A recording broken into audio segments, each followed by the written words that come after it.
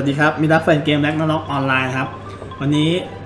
ก็ผมมีความภูมิใจนำเสนอนะครับ รายการใหม่ที่มีชื่อว่า Extreme Tips นะครับ เป็นรายการที่เกี่ยวกับการรีวิว skill ต่างๆนะครับ รวมถึงอ่าบอกสอนเติมโปรโมชั่นต่างๆ อย่างเช่น บัตรอย่างนี้เติมยังไง บัตร X อะไรอย่างนี้เติมยังไง รับรองว่าดูรายการเรานะครับ รับรองว่าไม่มีผิดหวังแน่นอนครับดำเนินรายการโดยผมนายแมงสาบปะปะโรดคนเดิมนะครับ วันนี้เราจะมาพูดถึง การพรีวิว 2คลาสใหม่อย่างบาร์แล้วก็ทางด้านอาชิมิตครับสองคลาสนี้มีความสามารถยังไงเล่นยังไงบทบาทหน้าที่ยังไงในวอลรวมถึงเปลี่ยนคลาสยังไงนะครับ เดี๋ยววันนี้เราไปทำความรู้จักกับสิ่งที่ผมได้เอินมาเมื่อสักครู่นี้พร้อมๆกันเลยครับผมไปชมกันเลยไป้ายอะก่อนอื่นที่จะไปดูนะครับ วิธีการเปลี่ยนนะครับ อาชีพบาสนะครับทำยังไง เราไปดูข้อมูลเบื้องต้นเกี่ยวกับ สายอาชีพสุดป่วนอย่างบาสนี้ก่อนครับ Bard เป็นคลาส2 2นะครับของ Archer นะครับ และเป็นต้องเป็นเพศผู้ชายเท่านั้นนะครับ เพศผู้หญิงเปลี่ยนไม่ได้นะครับขอบอก แล้วก็สามารถใส่อาวุธได้ 3 ชนิดก็คือมีด ธนูและเครื่องดนตรีนะครับมีดเนี่ยก็เอาไว้จริงๆอะมี มีความสำคัญมากครับ เอาไว้สับเปลี่ยนเวลา อยากจะเอาไว้ cancel skill การเล่นดนตรีประเภทต่างๆนั่นเองนะครับ ความสามารถในการใช้ item นะครับ ไม่สามารถกดยาเขียวยาเร่ง attack speed ได้นะครับ แดงก็ไม่ได้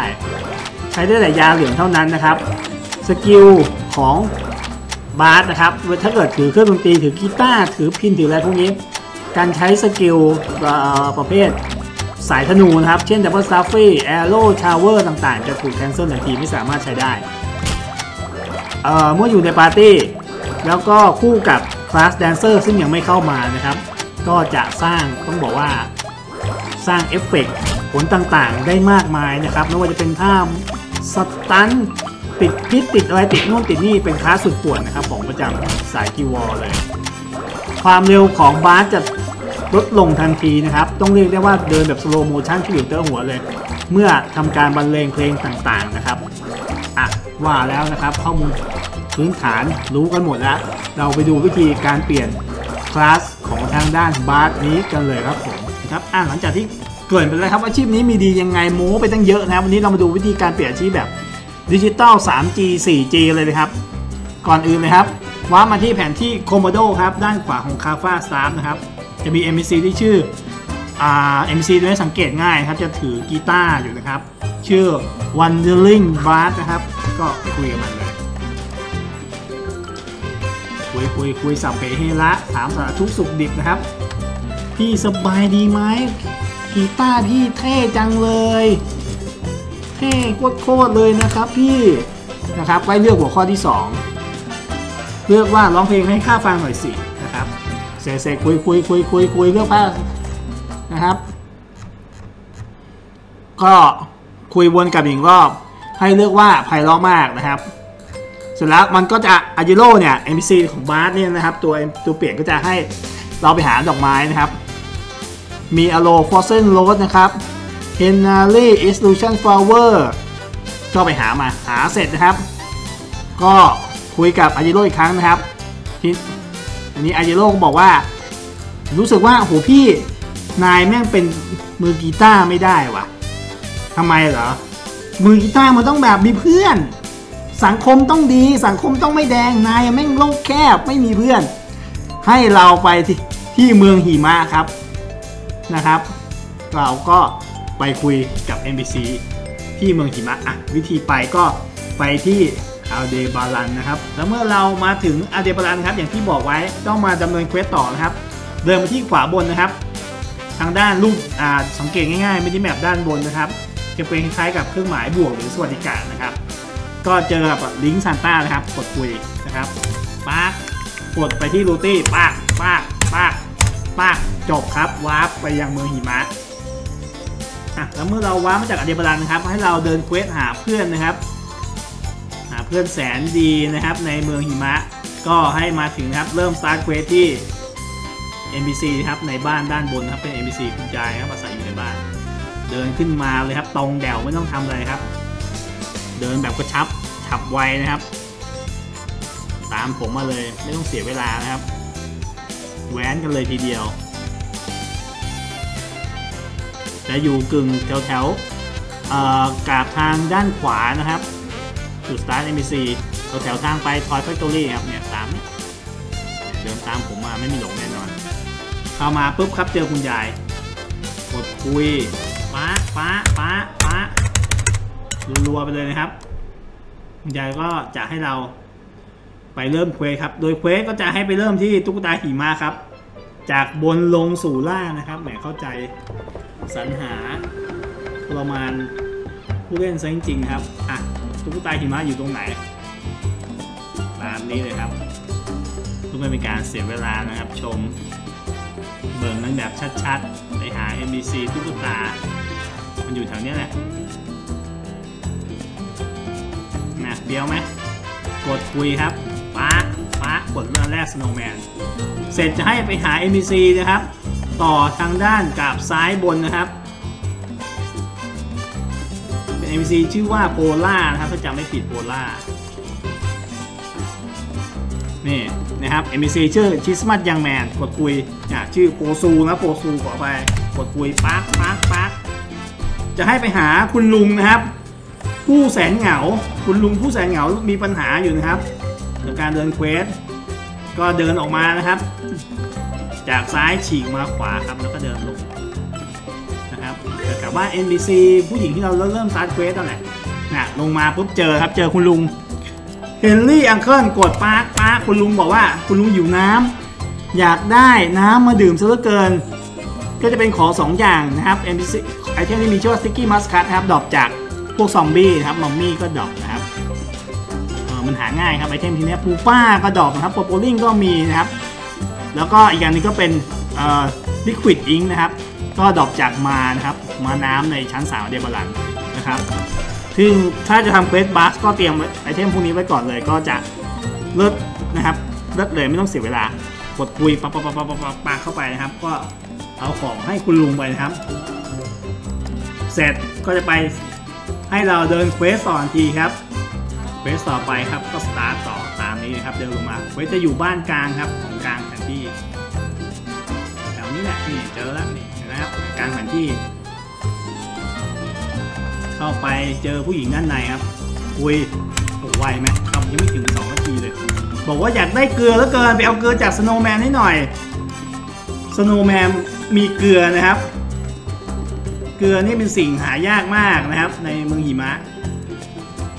อะไรมันจะไวไหมไวไหมไม่ต้องงงครับถ้าผมทำไวคุยกับสโนว์แมนปั๊บปั๊บปั๊บนะครับ ได้เกลือ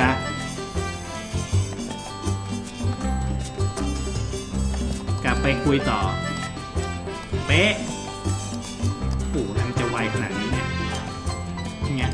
เดี๋ยวแมโปรคุยเสร็จปาปุ๊บส่งเกลือ ส่งเกลือเสร็จไปไหนต่อ ออกมาบ้านด้านขวาครับ จะเริ่ม quest ทันทีครับกับ Christmas Clown ะครับตัวตลกนะครับเนี่ยคุยปั๊บกดผิดนะครับ อันนี้ให้เลือกหัวข้อที่ 2 นะครับ เกหัวข้อแรก เกี่ยวกับอะไรกับ Snowman กดคุย Snowman ให้ไปหาเด็กสองคนที่มีปัญหานะครับ เด็กสองคนอยู่ตรงไหนนะครับตามผมเป็นเด็กผู้ชายเด็กผู้หญิงอะเจอแล้วนี่ไงอยู่นี่ เด็กสองคนชื่อชาลุแล้วก็มาแชลนะครับ ชื่อเหมือนเครื่องเสียงติดรถยนต์นะครับคุยคุยขึ้นไปสองคนปักปักปัก บอกกลับไปหาพี่ตุ๊กตาหิมะอีกโอ้โหอะไรมันจะเดินวนเทียนเวียนวนเราสองคนไปเวียนเทียนกันขนาดนี้ เจ้าจอร์ดนี่ครับมาหาพี่สโนว์แมนอีก อะ ไงต่อ สโนว์แมน มองลงไปในกระเป๋า อะ ได้ตุ๊กตา ได้ขนมมานะครับ เราก็เอาขนมไปให้เด็กนะครับ เอาไปล่อเด็ก ตามสไตล์ของเกม RPG นะครับวิ่งนะวะลืมน่าอยู่แถวนี้เจอแล้วครับเนี่ยคุยให้ของครับคุยมันเข้าไปมันจะทำไวขนาดนี้นี่ไม่เก่งก่งจริงทำไม่ได้นะครับเนี่ย อ้าว นะครับคุยเสร็จ แล้วก็เริ่มเดินเควสต่ออีกยังไม่จบนะครับหลังจากที่เราทำเควสที่เมือง Snow Village ครบหมดแล้วนะครับ ก็ให้เรานำร่างอันเหน็ดเหนื่อยของเรานะครับ กลับมาที่เกาะโคโมโดนะครับ กลับมาหาทางด้าน NPC a y e l o b a s นะครับ b a s Master ก็คุยเควสแล้วเขาจะให้เราทำภารกิจสุดท้ายภารกิจนี้ก็ให้เรานะครับทำการพิมพ์นะครับ ข้อความตามกรบทกวีที่อาเจโร่ได้ร้องมานะครับ ช่นอันแรกเป็นลั่นกองลบนะครับ ดังขึ้นดังขึ้นก็ให้พิมพ์ตามสีฟ้านะครับ พิมพ์ให้หมดเหมือนหมดนะครับขีดหน้าขีดหลังใส่กันให้ครบด้วย ต้องถูกต้องนะครับ เขียนผิดพิมพ์ใหม่เริ่มใหม่เริ่ม quest ใหม่ตั้งแต่ต้นเลยนะครับภารกิจนี้ค่อนข้างง่ายนะครับไม่มีอะไรพิมพ์ให้ถูกต้องท่านเอง ตรวจเช็คนิดนึงจบครับ เตรียม celebrate ได้เลยครับ ไปแล้วแล้วกดอีกทีเรียบร้อยมาแล้วมาแววมีกีตาร์แล้วอะงั้นได้ไวโอลินนะครับเรื่องไขก็ได้ไวโอลินเราก็ต้องเตรียมทรังเอาไว้นะครับท่อนซุงนะครับ ก็ตีจากพวกวิโลนะครับ ตีจากพวกปีศาจต้นไม้ทั่วไปนะครับ แล้วก็เก็บเอาวิโลมาแลกนะครับ นั่นเองเราก็ได้เครื่องเอ่อพวกไวโอลินมาใช้ได้ไวโอลินนี่ผมก็เอาทรังมา 60 อันนะครับมาแลกนะครับ ไปจบสิ้นกระบวนการครับสำหรับ mission quest นะครับการเปลี่ยน class Bard นั่นเองครับไม่ยากครับดูผมแล้ว ไม่เกิน 10นาทีเปลี่ยนจบแล้วของถึงนะถ้าของครบนะครับ เตรียมของไปแล้วเดินบวกแบบผมได้เลยครับครับสำหรับการเปลี่ยน quest Bard นะครับก็ไม่ยากนะครับ แต่ก็ใช้เวลานิดหน่อยพอสมควรนะครับ เราก็ทำแบบกระชับให้ฉับไวที่สุดครับอะว่าแล้วเดี๋ยวเราไปต่อกันด้วยคลาสที่2ครับที่ถูกเพิ่มเติมเข้ามาอย่างอาชิมิสนั่นเองนะครับอ่ออาชิมิสอะ ต้องบอกเลยพื้นฐานของอาชิมิสนะครับ เป็นคลาส2 2 ครับ ของเมอร์ชานนะครับ สามารถแบ่งออกเป็น 2 สายนะครับ ก็คือสายทำลายนะครับ แล้วก็อีกสายหนึ่งก็เป็นสายเขาเรียกว่าสายเคลือบนะครับสองสายนี้จำเป็นทั้งคู่นะครับ สายทำลายก็เป็นพวกทำลายก่อนทำลายอาวุธนะครับ สายเคลือบก็เป็นเพื่อป้องกันนั่นเองครับ ไม่ให้อาวุธ หรือชุดเกราะของตัวเองแตกครับ แล้วก็จนสามารถสร้าง potion ได้ด้วย คลาสนี้เป็นคลาสที่จะบอกว่าทำให้ตลาดนะครับ เป็นอีกหนึ่งกลไกครับที่ทำให้ตลาดของเกม Ragnarok นะครับผันผวนได้นะครับสินต้องบอกว่าวัตถุดิบต่างๆเนี่ยราคาจะถูกอัปเดตขึ้นมากเลยมากเลยครับ เมื่อคลาสนี้ถูกบรรจุเข้ามาอะคลาสนี้เปลี่ยนอาชีพยังไงนะครับตลอดจนมี skill อะไรยังไงนะครับอะเราไปชมกันเลยครับวิธีการเปลี่ยนคลาสต้องบอกเลยโคตรง่ายครับทำได้ภายใน 2 นาทีครับผมไปชมกันเลยครับป้า สำหรับการเปลี่ยนครับให้เรามาที่เมืองดาริกา dungeon นะครับ หรือว่าเมืองอาเดบารันนะครับ เดินลงมาล่างซ้ายครับ เดินลงมาจากที่เรา warp มาครับ เดินลงมาล่างสุดครับ แล้วก็เลาะริมตลิ่งมาเลยครับนะครับเลาะซ้ายมาก็จะเจอบ้านสมาคม Alchemist เข้ามาถึงครับเสียตังค์หมดเลยครับ ไม่ต้องพูดพร่ำทำเพลงกดป้าไปป้ากป้ากนะครับ แล้วก็เลือกหัวข้อข้าอยากเป็นอาชีพ อาร์เชมิสนะครับ มาเลือกเสร็จคุยอีกรอบครับเวทก็จะเด้งขึ้นมานะครับ แล้วก็ให้เดินลงมาตามผมนะครับง่ายๆนะครับสำหรับการเปลี่ยนแนะนำให้เปลี่ยนจอม 50 นะครับ เก็บช้ายากกว่านิดหน่อยครับ แต่เปลี่ยนง่าย แถมได้จ็อบเอาให้เอาไว้ซื้อขาย discover อะไรโอ้ยมันคุ้มค่าครับเพราะว่าสายนี้มันเป็นสายที่ ต้องรับซื้อของปรุงยาอะไรพวกนี้ครับซื้อของตลอดเวลา ก็ประหยัดไปได้เยอะเนี่ยครับคุยกับตัวนี้ต่อ ชื่อว่าฟัสเดอร์อาร์เชมิสครับ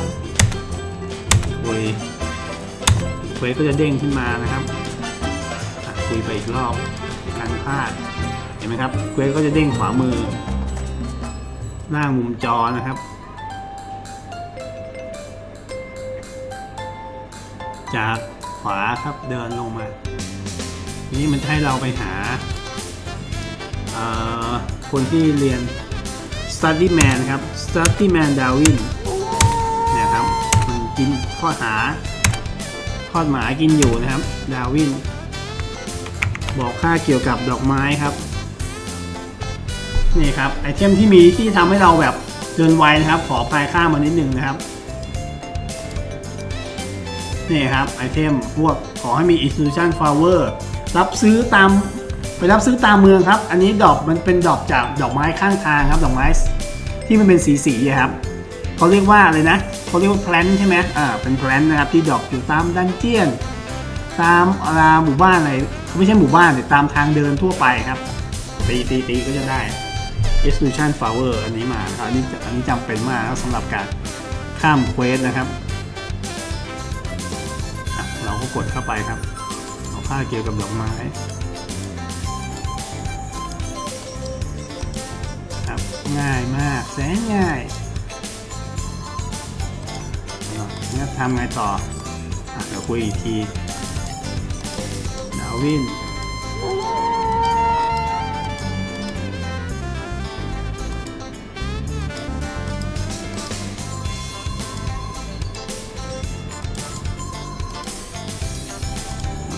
คุยมันเข้าไปครับ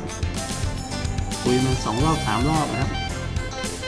แล้วก็กดเนี่ยครับอ่านำมาเพื่อมอบให้ทักมอบให้ทำนะครับ ขอให้เรามีครับก็จะเด้งของที่ต้องใช้นะครับ ใน quest ที่2 Red Herb ครับ 3 ชนิดอะไรที่มัน request มาไว้ครับ หรือเรามี Sinking เนี่ยถ้าเรามี Illusion Flower ก็จะผ่านไปเลยนะครับขั้นตอนนี้ค่อนข้างสะดวกสบายดูอีกทีกับเดี๋ยวกลัวการตกตกแก๊งนะครับเกียดเดินกลับมาใหม่เสร็จแล้วครับก็ให้เราเดินขึ้นไปเลย